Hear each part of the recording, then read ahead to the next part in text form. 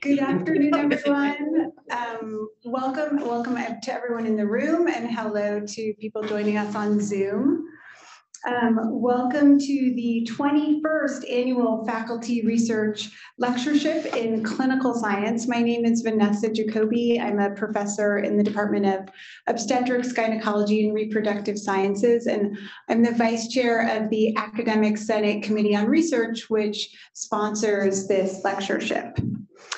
This award recognizes exceptional career achievement in clinical science.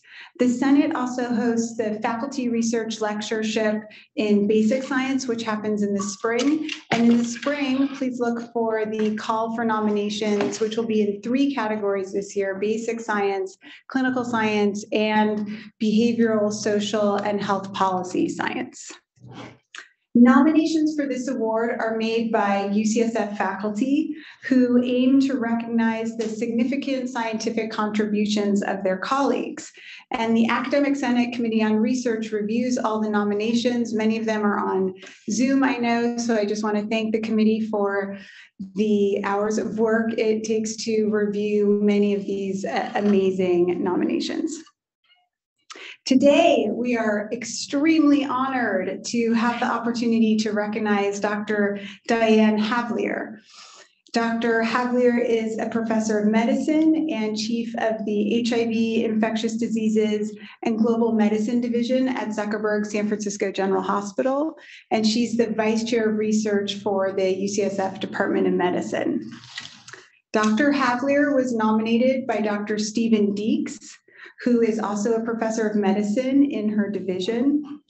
And in his nomination letter, Dr. Deeks proposed that Dr. Havlir should receive not one, but two awards today.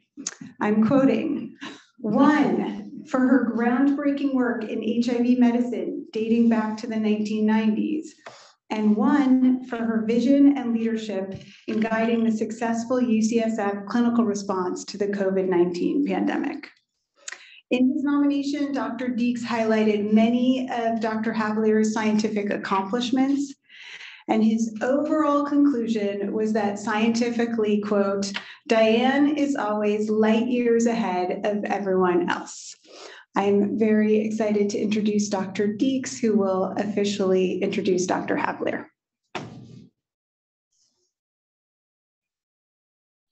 Um, yeah, no, I really meant that. Thank, thank you, Vanessa. So, hi everybody. Um, I'm going to show my a few slides here. Hopefully, this will work. Um, yeah, so sorry. I'm uh, unfortunately I'm in Miami at our at our annual meeting, probably the most important meeting of the year. So I have to be here, and I can't be there with you guys. But I'm thrilled that I can introduce Diane. Um, and she's going to go ahead and tell, I think, the story about how she has, over the past 15 years or so, been using community outreach um, in her search for the end of AIDS. But, you know, part of the story is also work that she's been doing to um, um, find an end to the COVID 19. We'll talk about that. But but when you listen to how she presents this, and it took me a while to sort of understand what she was really up to. But Diane has got big ambitions here. She's she's trying to stop the AIDS uh, um, pandemic in Africa and locally here in San Francisco. Same with COVID. At the same time, building up what I think is a whole new way of doing of delivering medicine with really robust, deep engagement, the community in a way that I think ultimately may allow everyone globally to begin to address lots of issues um, in terms of um, chronic disease and so forth. So it's an amazing story. Um, I will not steal her thunder. I just want to sort of give some background. So um, one of my favorite parts of Diane's story, of course, is the fact that she was a um, national champion as a speed skater back when she was young in high school and in her college years. Um, and I think that says a lot about her focus and energy and drive. Um, she trained at UCSF uh, did some of her early training in the 1980s in San Francisco. Obviously, got um, um, inspired by what was happening then in terms of the HIV and AIDS response. She eventually ended up at UC San Diego, and in the 1990s, I think, did some of the most innovative creative experimental medicine of that decade, using antiretroviral drugs as a way to sort of probe how HIV and the immune system interact in a way that was quite impactful and thoughtful and very innovative. And so when she came to San Francisco in 2002, I figured that she would continue to do the same. She was very, very good at it. In fact, probably the best in the business. Um, but she had different plans. And probably the earliest evidence of this was this meeting that happened, I don't know, probably two or three years after she showed up, where Diane assembled um, members of our team at Ward 86, members of public health system, lots of primary care providers in the city, academics and so forth to come together and really to have a consensus that we were going to treat HIV very aggressively in San Francisco. We are going to put everyone on antiretroviral drugs immediately, which was really um, groundbreaking at the time. And of course, a few years later became standard of care globally. But that was the first inclination of where Diane was actually going to use her vision, bring the community together, public health, academics, everybody, all the stakeholders um, to begin to tackle some of the biggest problems. And I believe, I'm sure she's going to go through what she did in terms of developing um, with Susan Buchbinders and others, the Getting to Zero um, initiative, which was really a sort of a, a very um, robust response within San Francisco to expand prevention, um, uh, to really basically drive down the number of HIV infections as close as possible to zero. Quite successful. I'm sure she'll tell us exactly how it worked out. Um, and then, and, and what, what still sort of blows my mind, and I never quite figured out how she did this, um, she basically put together, collected a bunch of um, experts uh, in, in, global health in San Francisco, but primarily in East Africa, um, really engaged the East African community, the academic community, um, and put together the search program, which she will talk about, which enrolled a remarkable 350,000 people into a, into a clinical trial, a randomized clinical trial addressing a number of issues. And, and this program was very, very successful, impact on, on international guidelines, and has now been built into a series of subsequent studies.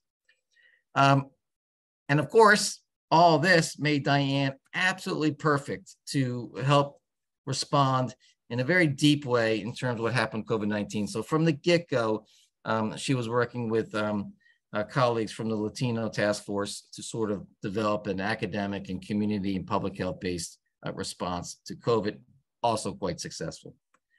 Um, she's a master communicator. She is very, very focused on making sure that, that science is disseminated.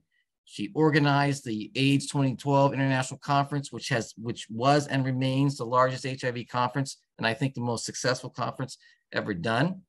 Um, and was a tremendous success in terms of disseminating information. Um, she's been a mentor to many, many generations of academic leaders, um, and um, um both back in the 1990s and all the way up to the present. Um, and of course, I mean, her academic credentials, right? Most of us, I think, we get judged based on our papers. Diane does not. She's doing much bigger, important things. But in case if you want to know whether or not she's been academically successful, she has indeed. This is just a list of her papers um, in the New England Journal of Medicine. Seems like every couple years, um, Diane is actually having a major contribution in, in, in such a highly impactful forum. Um, and finally, I, I, do have to mention um, that Diane has an amazing family a loving husband. I bump into Diane and Art periodically on the streets. They look like two people madly in love, and they they have four very uh, wonderful children. And I just heard learned that she actually now has a grandchild as of three months ago. So I can't imagine anyone who is more um, deserving of this award. And um, I'm happy to be part of this. And over to you, Diane.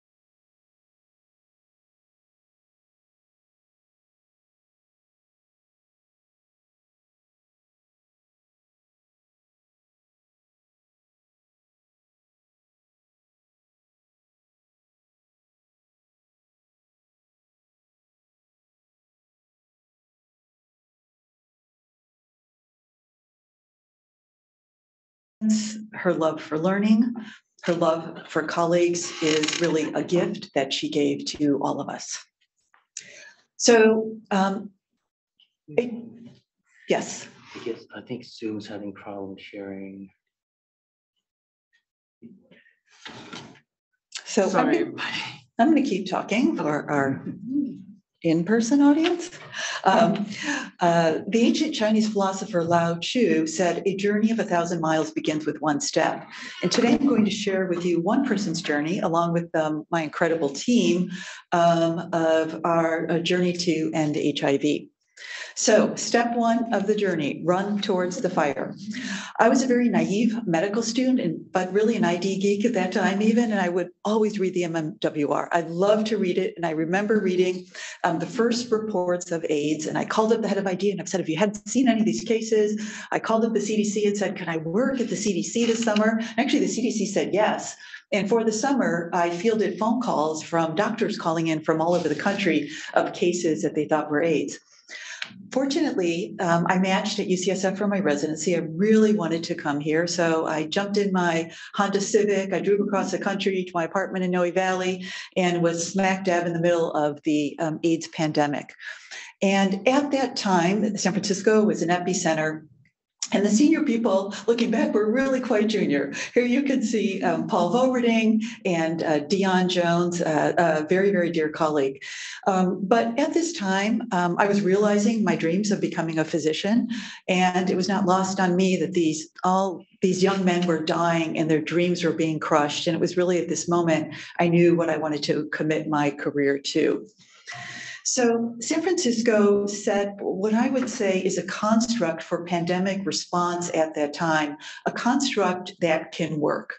And that construct is construct is bringing together science, policymakers and community. And I cannot emphasize enough the importance of the community. The community brings face to a disease, they bring, they're a force for funding, and they really have been in HIV. And they can be a force at the FDA when we're trying to get access of medications for our patients. Now, in order for this three-legged stool to work, a couple things need to happen. People need to be get out of their comfort zone.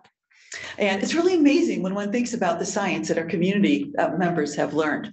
We need to understand the pressures that politicians face. And um, what people need to do is to listen and they need to come up with common goals, even though everyone's facing own pressures in their own silo that they're working in. And if this can happen, you can really have an effective pandemic response. So, starting the first, I would say, decade in HIV, as a clinical researcher, what we had was we, we basically had opportunistic infections. So we did clinical trials to prevent those opportunistic infections or treat them. Uh, one of the opportunistic infections that I worked on was Mycobacterium avium complex, previously a completely obscure bacteria that we never really saw. But in the milieu of um, the immune system and people living with HIV, it just completely took off and wreaked havoc, causing fever, chills, wasting. And this um, was often the precursor, sadly, to death in many patients with AIDS. So we designed a very large clinical trial over a thousand patients. We compared the antibiotic azithromycin given once a week um, uh, to not getting prophylaxis. And sure enough, it worked to reduce Mycobacterium avium complex, but we were really just scratching the surface. And there were many opportunistic infections, such as Kaposi sarcoma, for which we really didn't have anything to, to offer our patients. So this brings us to the second flight of stairs, understand and treat the virus. And this to me was all about the laboratory scientists, laboratory science scientists in academia, at the NIH, and in industry. Because what they did was they defined the structure of the virus, they described the life cycle of the virus, and this allowed them to identify targets to block um, replication in the virus. Now, as a clinical researcher, we were just banging on the doors of laboratory investigators. When are you going to have some drugs for us to use um, for this disease? And actually, it happened um, quite quickly. So the first target um, in HIV therapy was the hallmark enzyme of HIV, which is reverse transcriptase. Now, reverse transcriptase builds DNA strains um, from an RNA template. And this is a 3D structure of reverse transcriptase. It looks a little bit like a palm. Um, the active site is in, um, that looks like a hand. The active site of the enzyme is in the palm. And um, uh, James Hargrave, a medicinal chemist at Boehringer Ingelheim, designed the drug nevirapine, which fit right around that pocket. Um, and it caused a, uh, a conformational change um, to render the enzyme inactive. So, in other words, it was allosteric um, inhibition. So um, Steve talked about this a little bit. The we did a whole series of studies looking at viral dynamics um, when we provided this new drug nevirapine to our patients. And what we saw very uniformly was within a period of two weeks, there was a two log reduction in the HIV um, uh, levels, and this reflected the fact that um, HIV um, replicates very, very quickly. And untreated patients, um, cells produce a billion particles a day. So um, this was at least exciting that we saw this reduction, but then we saw this um, rapid increase in viral load, and we called this the check mark. And we hypothesized that the check mark probably was due to escape of drug resistant virus. And that, in fact, was the case. In some studies we did, some translational studies, we showed that was true. For nevirapine, we estimated the number of pre existing drug resistant mutants.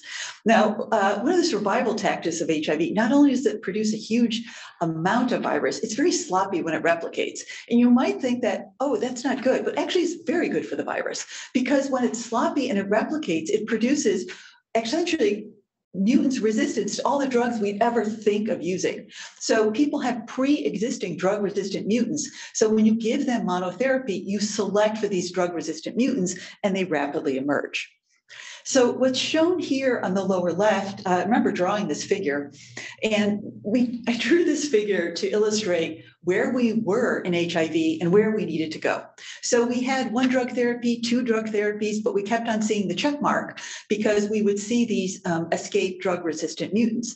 And what we needed to do was we needed to get higher potency. And that was either going to be by the individual drugs or by combining drugs together in order to achieve viral suppression. I mean, in a lot of ways, this was just a, really a theoretical concept, but this seemed like where we needed to go. This actually happened pretty quickly. Um, in the mid 90s, on the upper right is uh, a graph which shows um, a study that we published in New England Journal where we combined um, three drugs together. One inhibited the HIV enzyme protease, two of the drugs inhibited reverse transcriptase. And we compared and we looked at the viral load levels in patients who got one, two, or three drugs.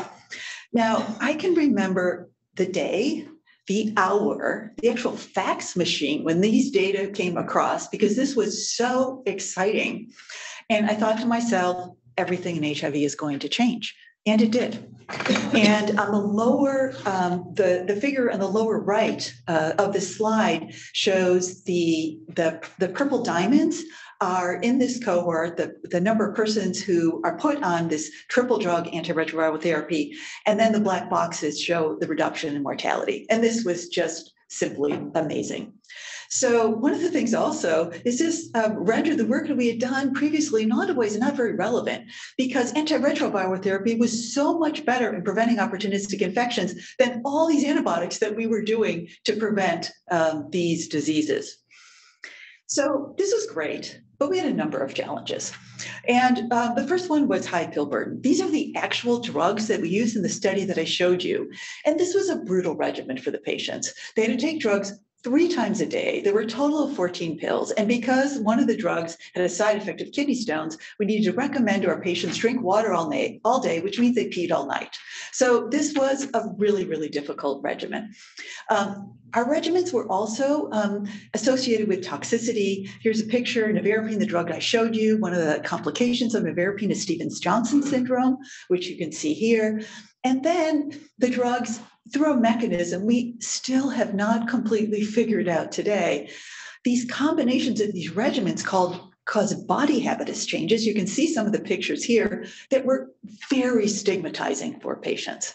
So not only did we have high pill, pill, pill burden, we had a lot of toxicity. These drugs cost about twenty to thirty thousand dollars per year. If you're saving a life, I'm not sure I think that that's expensive, but that was the cost of these drugs.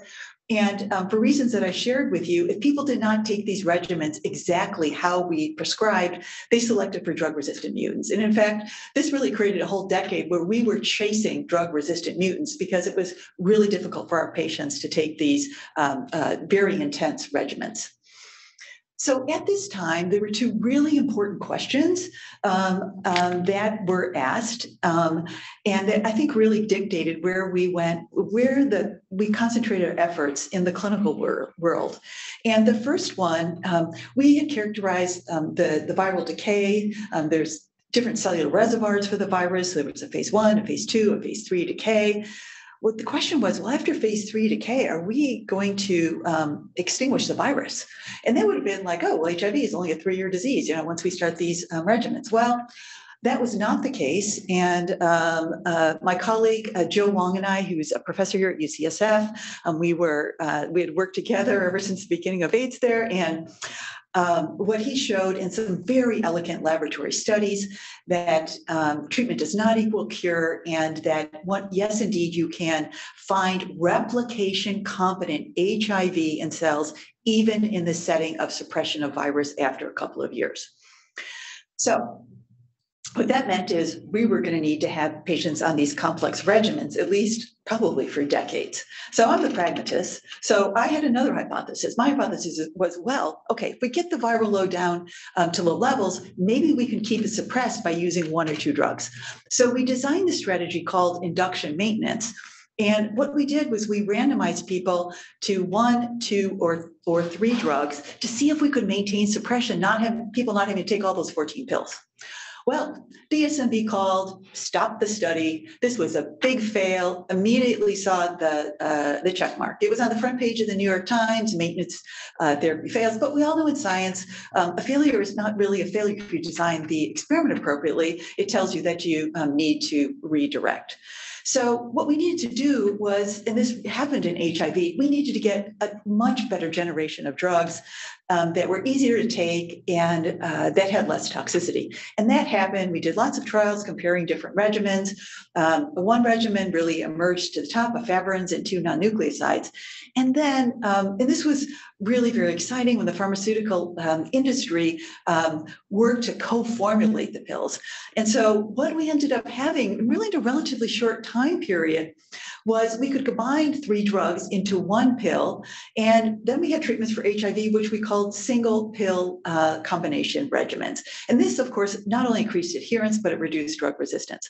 Now, I think the only time in the history of the New England Journal, there was an article that was written by a brother sister combination. You may know these people, Monica and Raj Gandhi, and they wrote a beautiful review article about how important these single pill combination regimens were for the treatment um, of of HIV. So here we are now. We've got one pill once a day. We can transform a uniformly fatal disease um, into a chronic disease, um, but only people in essentially high income com- countries are receiving uh, this drug, and they represent a small proportion of all the people at this time living with HIV. And there were over 30 million people with HIV, nobody in low income countries um, receiving antiretroviral therapy. We absolutely knew that we needed to address this.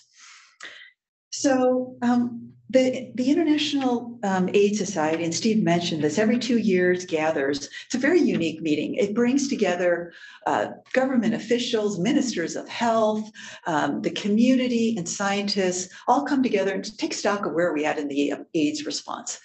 So, to me, probably one of the most important international AIDS conferences was in 2000. The theme of the conference was Break the Silence. Now, I was on the organizing committee of this conference, and at the time, the president of South Africa, Mbeki, um, was putting forth very forcefully that HIV does not cause AIDS. So we went into uh, the crises room and we said, well, should we really do the conference if the president is saying HIV doesn't cause AIDS? And we went back and forth, back and forth. Ultimately, the decision was to support the conference going forward. And I think history would have changed if we would have would not have done that. And this is a picture um, and this uh, uh, really is uh, it chokes me up really to look at this picture because I remember, um, Nkosi, the late Nkosi Johnson, a young boy who was infected um, from birth with HIV, um, in this uh, suit coat, in his jeans. The opening session was under the stars, outdoors at this conference, gave one of the most moving speeches ever. And at the end, he said, how come I can't get access to this therapy? And I think this really motivated the whole AIDS community to uh, start to try to tackle this problem. Now, I'm summarizing here in the slide that I'm calling the Trail to Scale ART, a couple of important points. So if you look on the lower left-hand picture, um, this was a picture um, that was in the New England Journal and a clinical report. Um, this um, young man um, who was living in Haiti had both HIV and tuberculosis. This is what he looked like before he started antiretroviral therapy. And then you can see what he looked like a year later after he finished his TB treatment. He was on antiretroviral therapy. Um, his wife had a child that was not HIV um, infected. I mean, this is truly a Lazarus effect and it was very powerful. And people were starting to see this. Um, there's two people I don't think we would have seen the progress we had, both who um, have in our faculty at UCSF that made major contributions to this. The first is Sir, Sir, Sir Richard Feachem, who started the Global Fund.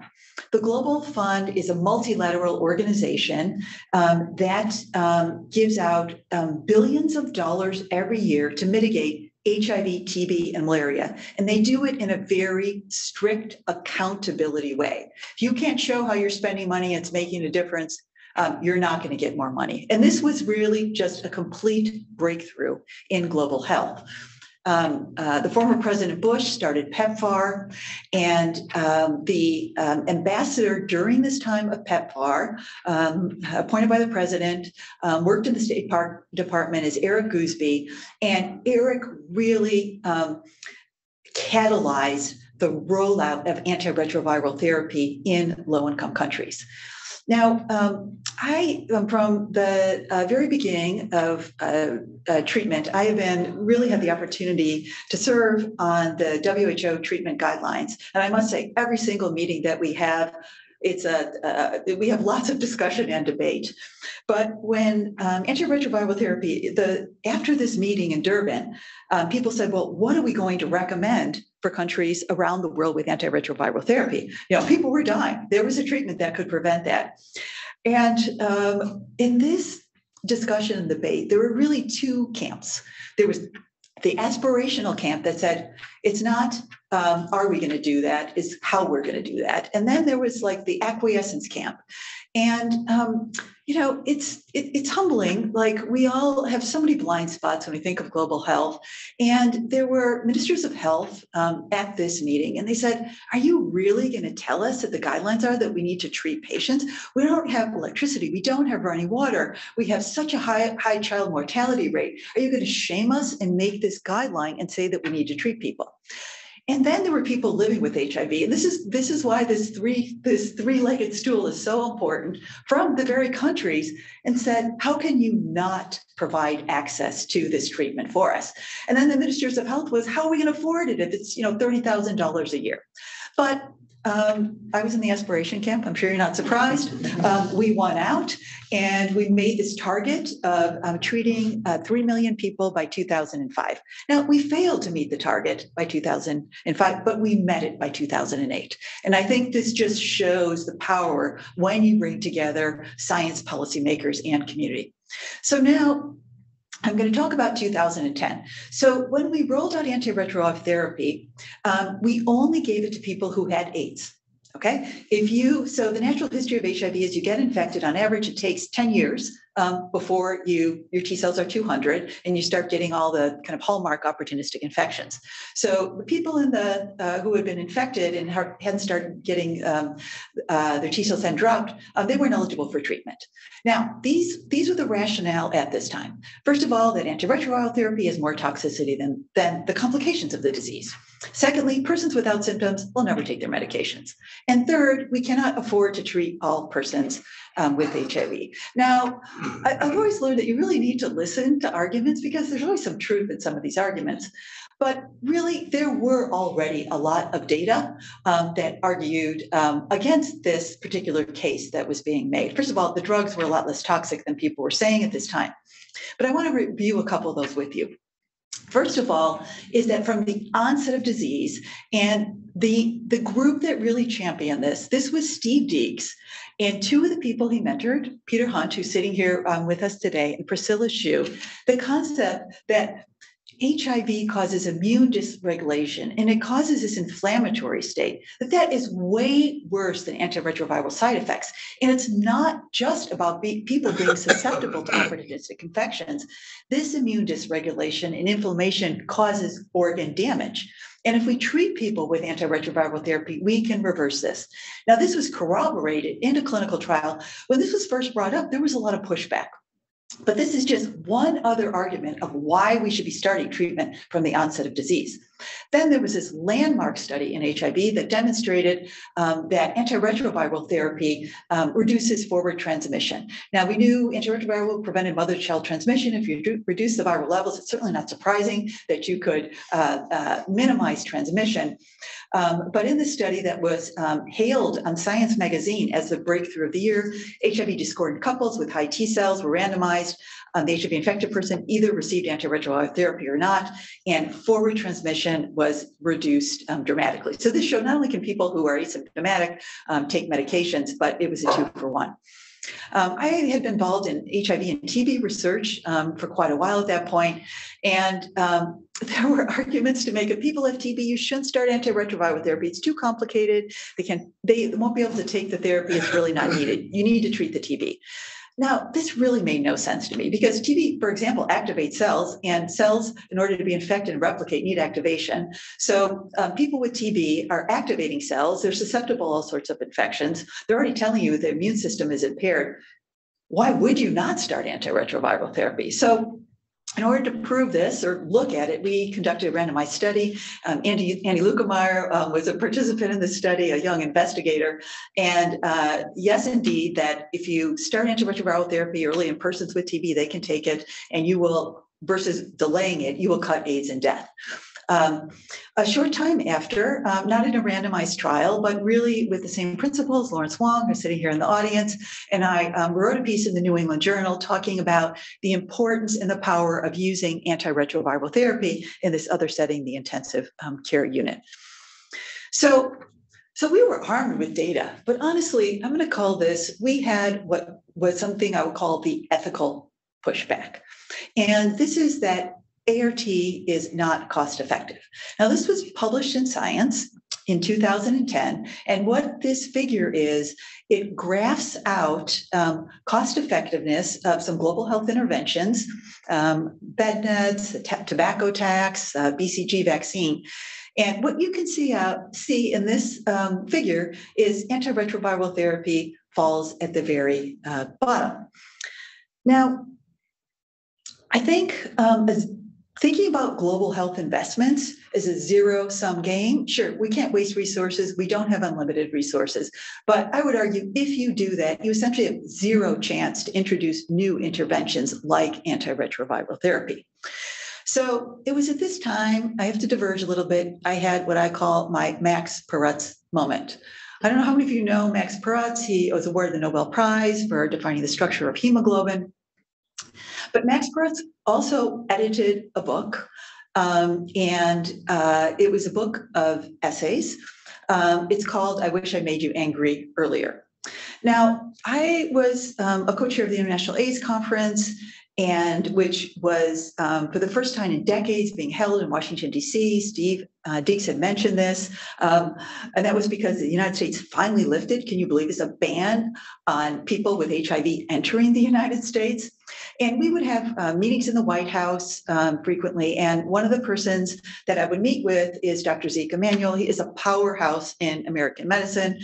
And I had this meeting with him, and uh, I'm sure he doesn't remember this meeting, but I remember this meeting because he quoted this paper and he said, Why are you pushing to treat everybody? You should be pushing for all these other um, uh, health interventions. And this made me very angry. and I am not of the stature of the essays are in Max Perutz's book, but all these essays I could totally relate to. Either it was a colleague that said something or something that they read that really motivated them to buckle down and try to disprove this. So what I realized, first of all, our communication was inadequate. We needed to look at antiretroviral therapy in a much broader framework we were just looking at in terms of death to days. Of course, that's important, but we knew antiretroviral therapy did so much more. It reduces new reduces new HIV infections. It reduces maternal deaths and infant mortality. Reduces TB. And we would think that it would help keep kids in school, have parents support their family, reduce food insecurity. So um, uh, these concepts, uh, a colleague of mine at Johns Hopkins and I, uh, Chris Beyrer, put forth in a perspective we wrote at this time at the International AIDS Conference, which um, we entitled The Beginning of Ends of AIDS. Now, we got, got a lot of pushback when we wrote this editorial, but that's never really held me back. And so here we go. This is, we went back to thinking about what San Francisco did early on in the pandemic, bring together science, policy, and community. So here I am on the next flight of stairs, and many of the uh, uh, search team members are in the room here. What we wanted to do was to prove the population level benefit, prove or disprove the population ben- level benefit of antiretroviral therapy. So, um, and I reached out. Um, uh, there's three of us that formed the search collaboration. My colleague, um, Dr. Moses Kamya, who across the Atlantic really had gone through um, a similar journey um, with AIDS. Uh, Dr. Kamya is a former chairman of medicine and dean, and expert in HIV, TB, and malaria, along with the brilliant biostatistician uh, Maya, Maya Petersen, who is um, now um, uh, co-leading the new UCSF uh, joint uh, center uh, with Ida Sims for computational precision health. And we brought together a multidisciplinary, multi-sector um, group. Um, we called it SEARCH, Sustainable East Africa Research and Community Health. And the goal of SEARCH is to test bold population level interventions to end AIDS and improve community health. And we wanted to do that to inform policymakers on high impact interventions. And we also wanted to build capacity in science. We fortunately had um, very strong support from the National Institutes of Health and also um, from PEPFAR. So when we were designing the study, we did have to do a lot of pitches. We made field trips to the NIH, um, the uh, the World Bank, um, PEPFAR, Ministries of Health of Uganda and Kenya, and this was the case that we were making. That if we expanded ART and we coupled it with multi-disease patient-centered delivery models, this would lead to smaller and less ill epidemic populations and improve and protect the health and productivity of the community. And we used this cartoon when we made our pitch.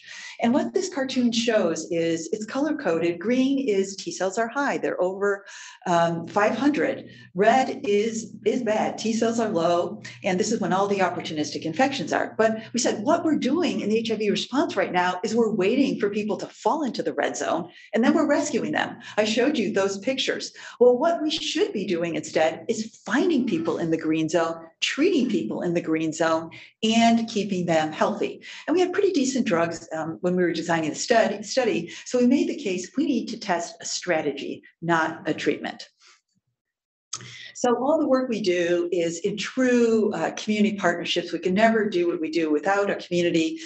From the first time we had this idea, we met with the community, we met with local government leaders, women, youth, men, um, and um, our community partners have always provided input on our priorities, our incentives, our study design. And maybe just to give you one example, um, at this time, HIV um, testing. So uh, globally, HIV, people about only 30 to 40%, can you imagine this? People all around the world actually knew they were HIV infected. So this was like a big problem. And the people who would, who would find out they're HIV infected was when they ended up in the hospital. But the way this was being done is, at least in many parts of sub Saharan Africa, there were big signs come and get HIV testing, completely stigma producing. You know, if you go there, everybody knows kind of about your business. So we worked with the community and we said, well, we think we want to do multi diseases. They said, that's great. And um, we said, well, what diseases would you want to do? So they said, well, we want to do pressure or test for high blood pressure, and we want to do um, diabetes. We said, oh, we can do that.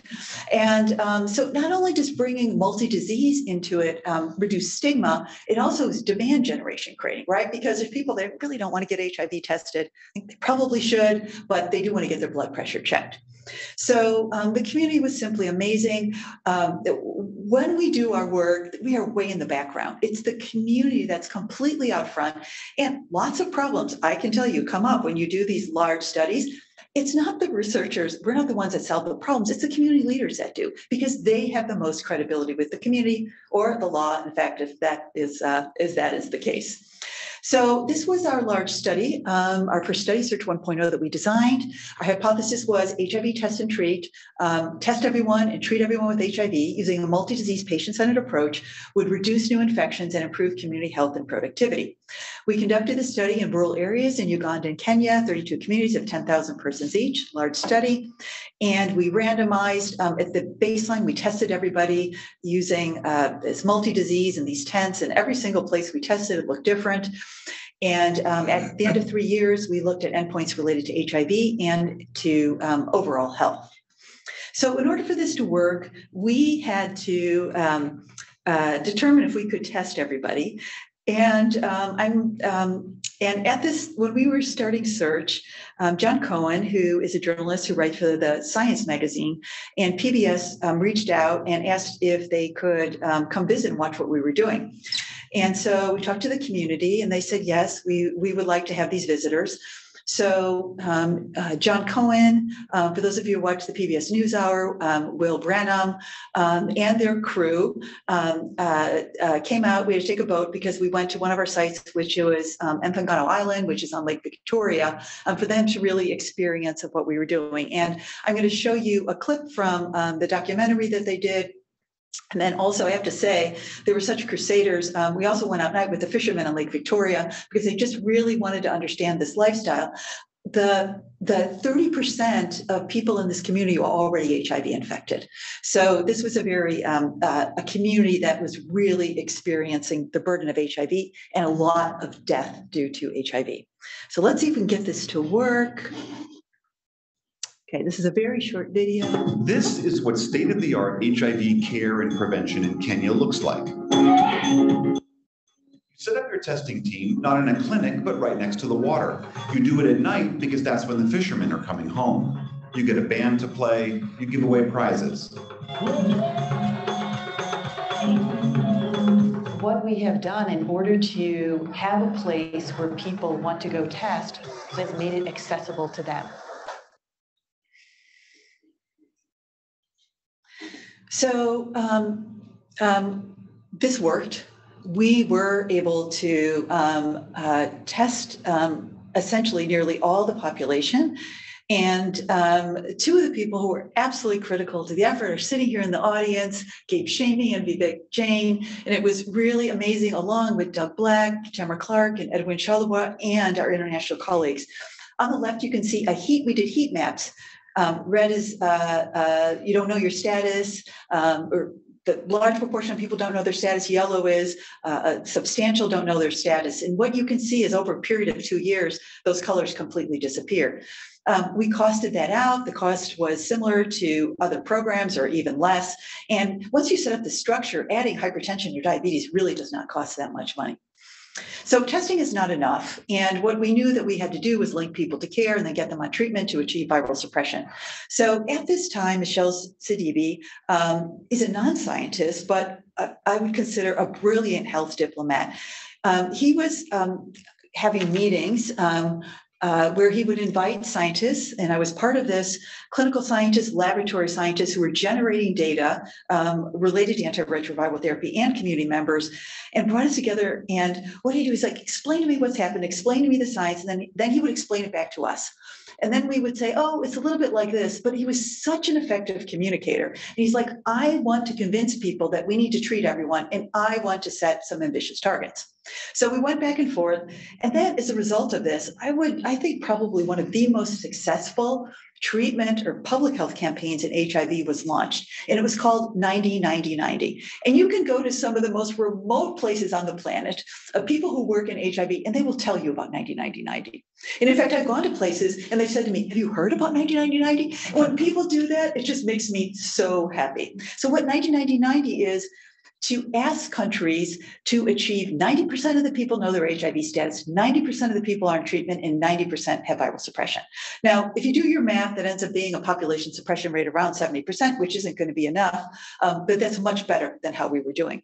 So we had already started really our path to 90-90 in search, and two years into our study, we published that we had, in fact, exceeded. Um, uh, this was published by Maya Petersen and JAMA, the 90 uh, uh, 90 targets. It, this is really a proof of principle.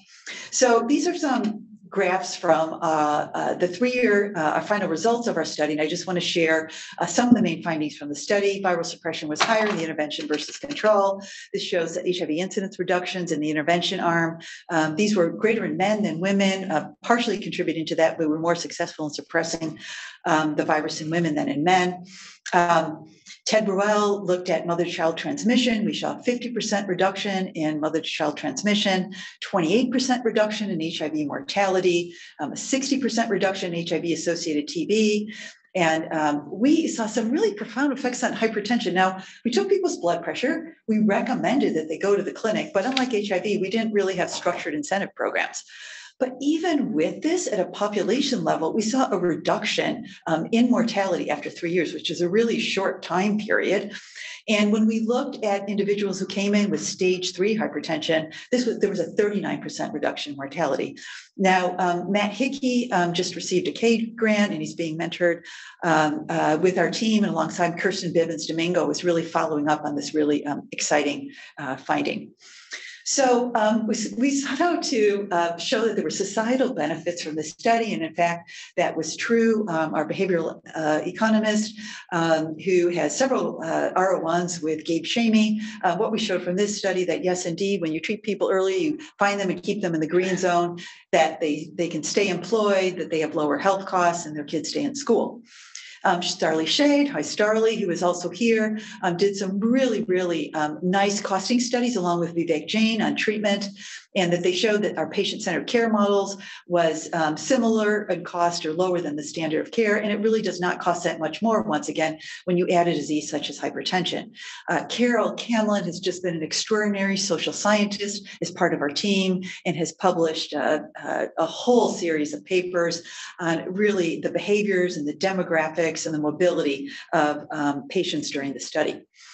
So here we are. Um, search was um, one of the pieces that contributed to the current global standard, antiretroviral therapy for all persons with HIV at the time of diagnosis, um, patient-centered care. I haven't showed you the data with this, but investigators in San Francisco really did the first studies of pre-exposure prophylaxis, which is when you take um, um, antiretroviral therapy um, because you're at risk to get HIV, you don't yet have it, um, or you've been exposed to HIV. We call post-exposure prophylaxis um, or PEP. So these are the the interventions, um, some of the main interventions we have. Um, we've put over 25 million people on therapy globally, which is amazing, but there's still 10 million people that are not on therapy. And with all these advances, there still are 4,000 new HIV diagnoses every day globally and one HIV death a minute. So this year, the UNAIDS, when they put out the report, the title of the report was In Danger. Progress to end AIDS is slowing, not accelerating. And sure, COVID contributed to this, but it really was not the entire reason. So the question now is how do we bend the curve? Because if we keep doing what we're doing, we are not going to meet our targets. So this brings us to Search 2.0. And um, after Search 1.0, um, we put together a proposal um, that we submitted to the NIH. And our question was can a precision community health approach that use 21st century technology and new products move us closer to ending AIDS and improving overall health? So um, our answer from NIH was yes and no. Um, they were supportive of the uh, question we wanted to ask, but they said, no, you cannot jump into a large population level study. This was true because you're proposing things that you really have not done sufficient pilot studies on. So first you need to do the pilot studies. So this, in a lot of ways, was a blessing in disguise because COVID happened right at this time. And I don't think we could have launched a huge population study and responded to COVID at the same time. But remarkably, with our partners on the ground who did so much work, we conducted six and completed six randomized studies with over a thousand patients. These were not small studies. And what I want to do now is to show you one suite of these studies and what we found out. So one of the things that we thought about, we wanted to build upon um, uh, uh, um, lessons, if you will, or successes in reproductive health, um, which uh, say that if you allow people options for an intervention that you want to achieve, you are going to achieve wider coverage. Now, we said, well, we've got a couple of biomedical prevention options right now, and we know some are in the pipeline. Let's test this and let's see if we offer people choices um, uh, across the care that we're delivering, if it makes any difference. So we offer people choice. They can go back and forth from PrEP or PEP, where they got their care, what kind of testing they want, their refill, um, how frequent. We all do this in a patient-centered care model. So Kate Koss, um, uh, really uh, sitting here also, um, really championed a lot of these studies. And I just want to share with you some of the, uh, the, the findings on a high level. So first of all, did people have different choices of what they took? Yes, they did. Did people change over time? Yes, they did. And this was great because this just shows that you know people are using the choices. But it kind of doesn't matter if the people are using the choices um, if they're not uh, taking the therapy, and they're not taking the therapy when they are at risk. So what this graphic shows is um, there's a horizontal line for every single patient. These are people in the intervention arm, and it's color coded by whether they report they have HI risk and whether they're taking PrEP or PEP. So if you step back, you can just see that over time, the green zone is people are at risk and they're taking PrEP or PEP and they're reporting, and we're going to be um, doing hair studies to see indeed if they were um, taking their medications. More people um, are on medications while they are at risk. And you can also see that people are switching back and forth. So um, these are, um, we did dynamic choice prevention in three settings, the antenatal clinics, the outpatient department, which I just showed you, and in uh, a community model. And what we showed, indeed, that this dynamic prevention approach increased um, biomedical coverage. So this is something that we were planning to put into our big study before we had tested it. So we tested it. Yes, it worked. But it also shows this is great. But if you look at overall intervention coverage, completely inadequate. 28%, um, you're not going to do anything with 28% coverage. But we have new, the really the hottest thing right now in HIV clinical medicine is long acting agents. We have prevention for HIV that you can give every two months. And in January, we are going to be adding um, injectable cabotegravir as a prevention option in this study. And we are really excited to see um, what happens. Okay, back to Search 2.0, our big population level study. Our hypothesis is this precision community health intervention where we leverage essentially things that the government is already supporting and sponsoring. Um, we add in dynamic choice prevention treatment approaches, these new products and interactive data systems that that will reduce HIV infections, death, and improve health. And we'll do this in a multi-disease model. So what do I mean by precision community health? Well, in essence, it's reaching the right people with the right interventions at the right time. And just some concrete examples of this is using, using data um, for risk stratification, identifying missed opportunities, and maybe in geographic areas um, where you have the opportunity to do more um, intense interventions and telehealth. We are going to be using all of these and testing these as part of the package in Search 2.0. So why is this needed? Well, certainly people in the most need are not engaged in clinic-based services. I remember that graph. We're not um, on the on the way to hit that red dot, and this one size fits all is not working. So we are developing right now in um, collaboration um, with the governments of Kenya and Uganda on mobile de- um, devices, closed loop data systems where we will be able to connect data from outreaches in the field, our community health workers, um, and uh, the, uh, the clinic.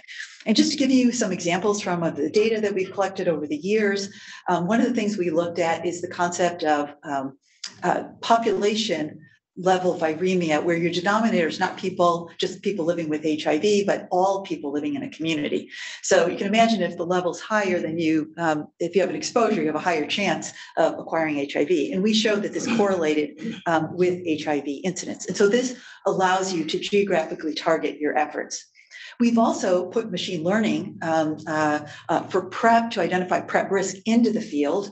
Um, and Laura Balzer um, uh, from Berkeley, um, we used our data of who seroconverted, and then she developed a program using super learning ensemble approach. And what we show, this is really constrained optimization uh, problem. You don't want people who don't need PrEP to be taking it, but you want people with the highest risk to take it. So if you ask the question, looking at who you might expect based on the characteristics to seroconvert, which is better, just taking a demographic, oh, we're going to give PrEP only to young women, or to do um, a, a clinical prediction rule. It turned out that this machine learning actually was the most efficient approach. Um, uh, we have done this in the field. People write review articles about this, always talk about doing it, um, but actually we're the, one of the few groups that has done it, and we will be incorporating this into our Search 2.0 study. So we're going to be starting that hopefully um, in March of uh, uh, 2023. so now um, um, I'm going to talk about San Francisco, and Steve talked a little bit about this in the in the introduction, so I won't repeat this.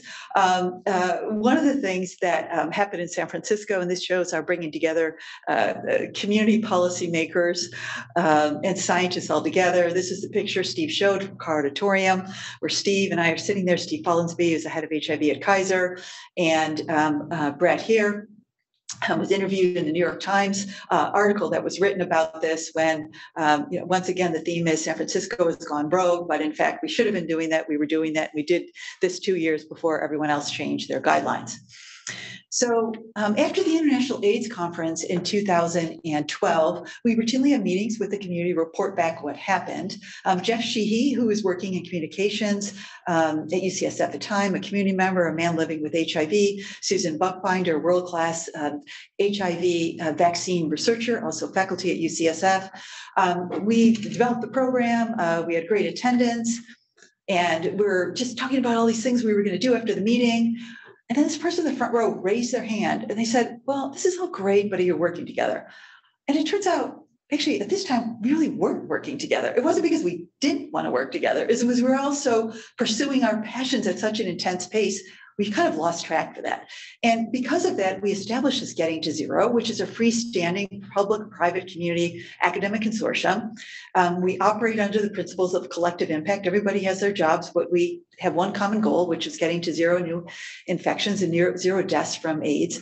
And um, we have an in, incredible administrator, Courtney Levy, um, who runs this. But otherwise, everything has done in this group is purely out of volunteerism. It's amazing. There's all these committees, people meet. We have private sector, we have academics, we have people from the health department. Um, we designed these um, committees to address our three first goals was to ramp up PrEP, uh, make sure that at all our clinics in San Francisco, we were doing treatment upon diagnosis and to strengthen the um, uh, cascade. So, um, you know, this is an ecological observation. We can't really say this is cause and effect, but this is a graph which shows the HIV cases in San Francisco um, when we started getting to zero San Francisco um, and the, the, the most um, recent um, numbers. Now, if you put a red line on this graph, which showed the cases of HIV, um, in the United States, it would practically be flat. Okay. And it really was by putting together all these interventions and actually taking the science and putting it into action that we were able to achieve this.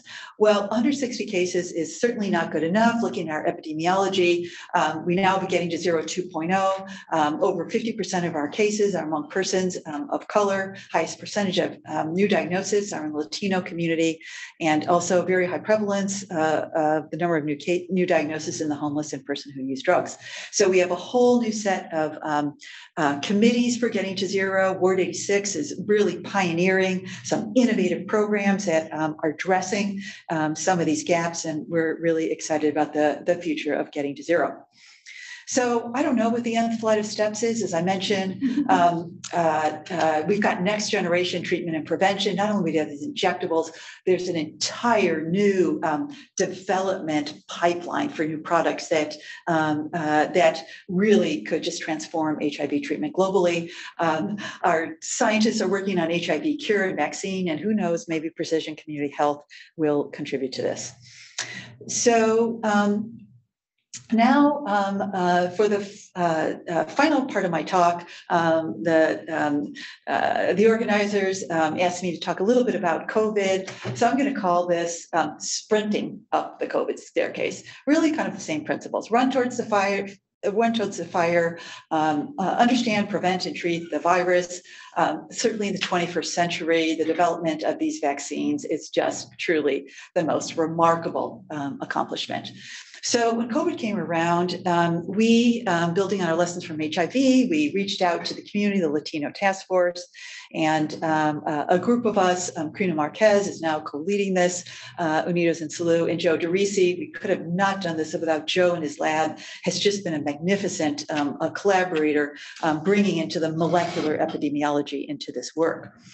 So we started this because we saw in the hospital that the um, uh, uh, the percentage of Latinos who were getting COVID was uh, much higher than people who had other diseases, and we knew that the hospitalizations were the tip of the iceberg. So what we knew that we needed to do was to get data what's happening in the red part of this pyramid to drive solutions um, so we created um, this um, uh, task force, and the first project that we did was really um, to do um, an epidemiologic study um, in the Mission District in San Francisco.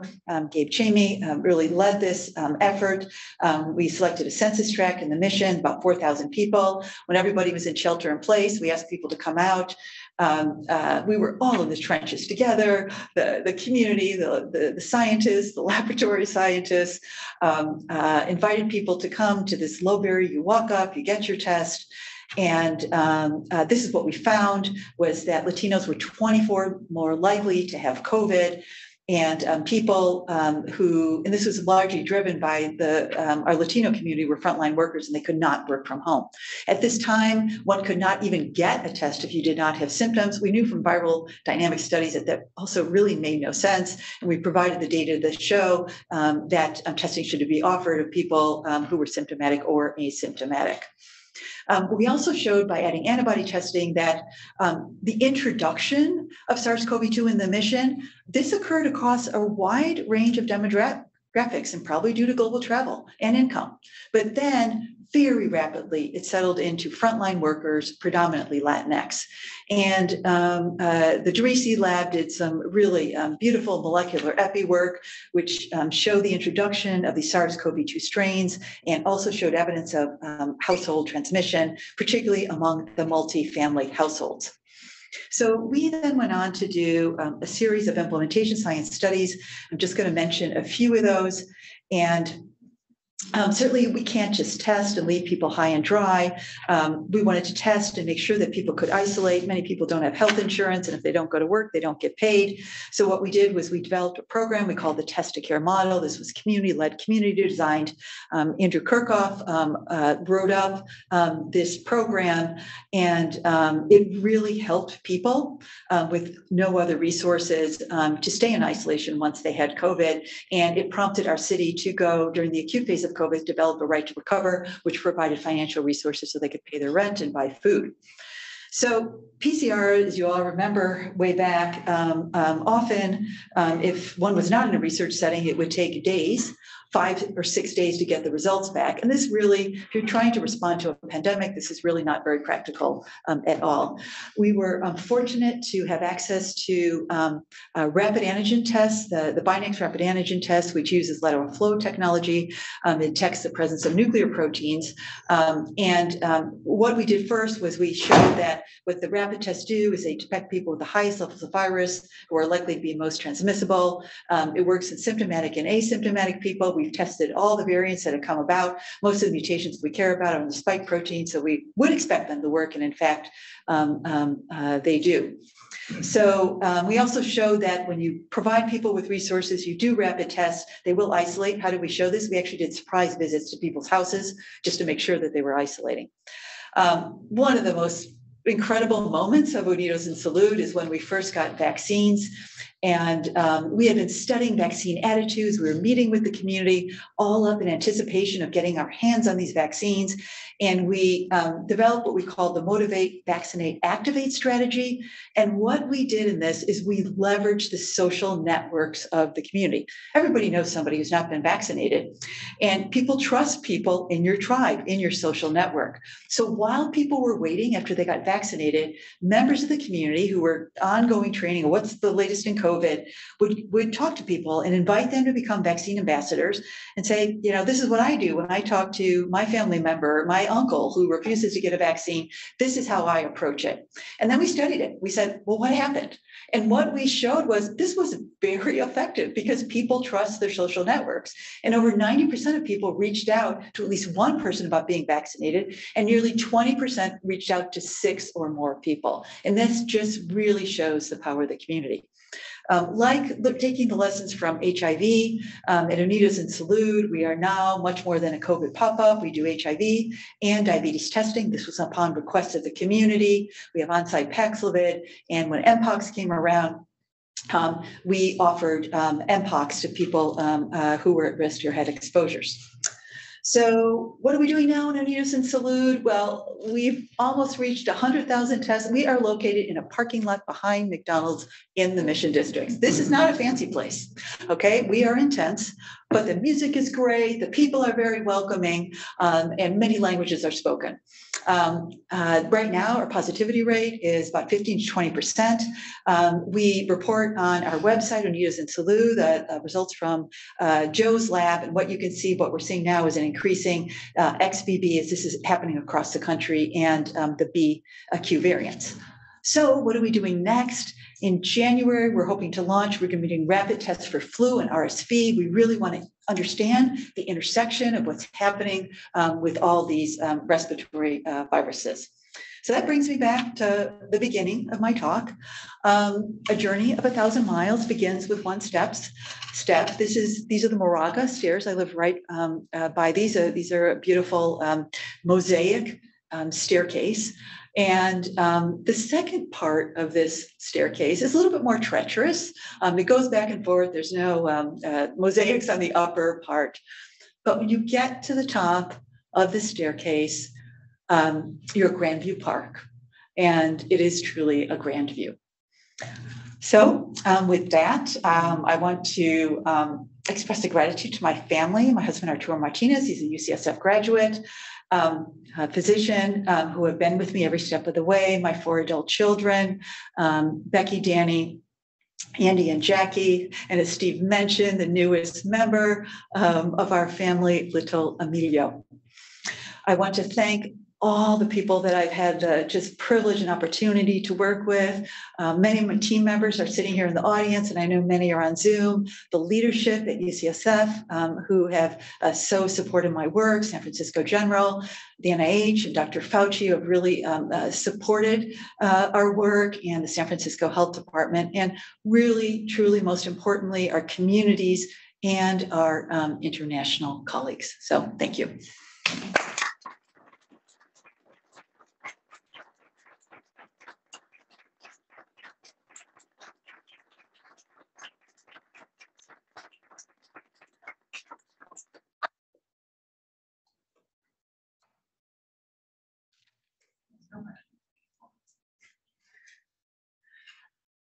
Oh my goodness, thank you uh, is not really a strong enough word to uh, express our gratitude for that lecture. There's over 100 people on Zoom, so I just want to take another moment for people to applaud, and there's a lot of people putting um, congratulations in the Zoom, and I will take out what is, again, a completely inadequate yet heartfelt appreciation. This is a plaque.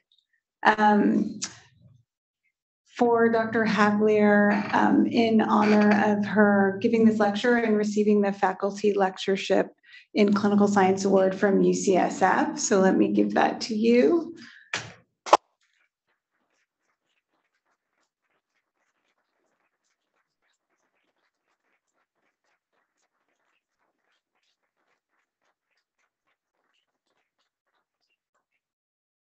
And we, if you're okay, we would love to allow people to ask questions. Why don't you come up and since there are so many people on Zoom. Joey, do you have that other mic? I do that. Um,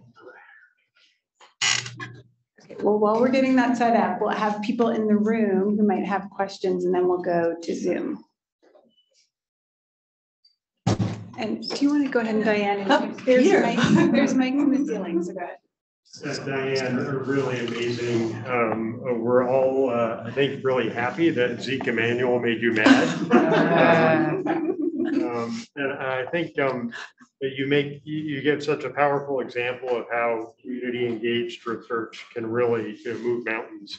And, um, and one, one thing that has always blown my mind is that you're able to pull this off and, and get, get the funding lined up behind this, uh, to do this massive thing. Do you have any words of wisdom uh, for how, how, how to do, I mean, what, I mean, this, I mean, I, I, I can't imagine what you went through to, uh, to, to, to, uh, to pull this off and words of wisdom. I'm not sure I have any uh, secrets or tricks. I think I'm uh, a very passionate person when I believe in things that I am going to figure out. Um, uh, what is it, the Michael Jordan? There's a wall. Either I'm going to go over it, I'm going to go around it, or I'm going to go through it. And so it's it's really like in medicine, a differential diagnosis. Like, what are the possibilities? And so when we were thinking about SEARCH, we're like, who should invest in this project? Should it really be all NIH? No, it shouldn't just be all NIH.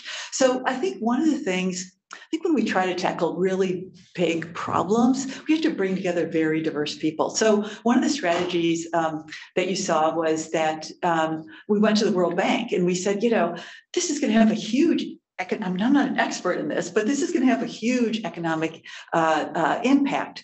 Um, do you want to join us? Can you join us? So, um, uh, yeah, I mean, I would guess to say it's just, um, and then I would have to say when going to all these meetings and with NIH, I was like, like sometimes people criticize you and it's just, oh, but then you like think about it. Oh, that was a really good point. And I think through this, we are always learning and listening um, when we present our data of like how we redirect. And that comes from people um, of all sorts of different backgrounds. Um, there is a funny story I'll tell you about going to the World Bank um, with one of our colleagues who now has a big position at Washington University. And um, uh, this is the World Bank is a very uh, formal place. And uh, so he said, Well, do I have to wear a tie? I don't one. now, everybody at the World Bank wears a tie. In fact, they wear, I don't really know much about fashion, but they wear very fancy clothes. So uh, uh, Elvin had to go out, get a tie. And then after that, what I did is I actually have a tie in my office just in case, you know, people were visiting. this, this was their thing, but I don't know. That's the answer to the question.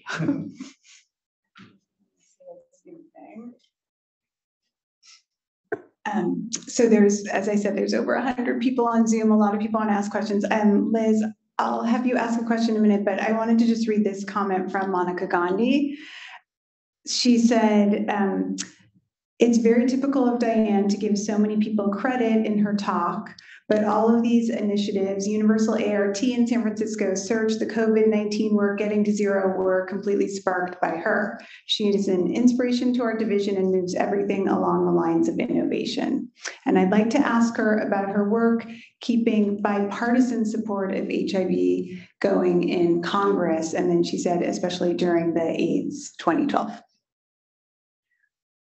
I mean, I, I think um, the the AIDS movement um, has had bias. It was definitely rocky at the beginning, but has had a very, I would say, successful um, bipartisan support. And um, during the AIDS uh, uh, planning, uh, there were a lot of political meetings that I had to go to. And um, these meetings were both with Republicans and Democrats, and they were both very committed um, to the AIDS cause. Now, part of the reason was um, was that George Bush really had started the PEPFAR program. And um, but um, it worked, and people, um, when the stories were told, how people's lives were transformed, it resonated with both parties. I mean, I, I think we're in a difficult situation. I don't know what the chicken and the egg is with the, the current challenges that we face because um, you know misinformation that's not a new concept okay i kind of alluded to that you know back it's we've had it now it's so much easier now but i do think that um, uh, uh, you know, parties aren't always going to agree on everything, but when they're in active dialogue, it's a lot easier to respond to a pandemic. And that, in fact, was the case when we rolled out antiretroviral therapy.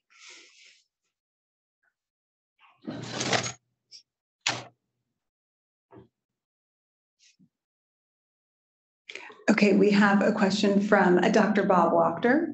Um, wonderful talk, Diane.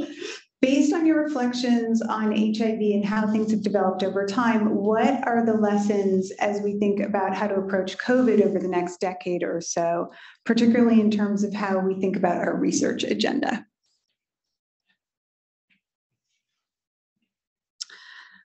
I think there's a lot of lessons. One is this um, bringing together community science and policymakers. Another one is recognizing that pandemics love to amplify disparities. And I think that that has happened in HIV. And when we look at the people who are getting infected now, and that happened um, at record pace in COVID. And right now, I think we're at a really um, uh, uh, concerning juncture because all the investments um, that have had um, in order to um, uh, offer services to everyone, regardless of their insurance or, or socioeconomic class, are being threatened to be pulled away. And in fact, you know, dismantling the services, we've built a lot of currency for trust. People have really stepped up. They've done all these things. What does it say when you just pull out the rug? So um, and that's that's a little bit where we're at in HIV. We we struggle with complacency in HIV. People say, isn't that over? It's absolutely not over. I hope I convinced you of that um, in my talk. But um, we one thing we know for sure is that investment in research is absolutely critical. We must have ongoing investment in research in HIV. We must have ongoing uh, investment in research in the COVID. The COVID pandemic's not over. I mean, I think I like what we really need is a vaccine that prevents infections um, entirely. And I am confident that our research community can do that, but they're not going to be able to do that if all of a sudden we say, well, it's just like the flu, we don't have to worry about it anymore. So I do think that um, when pandemics come around, anticipating because of the um, inequities in our healthcare system, just addressing disparities um, that try to mitigate them up front and um, in investing in research.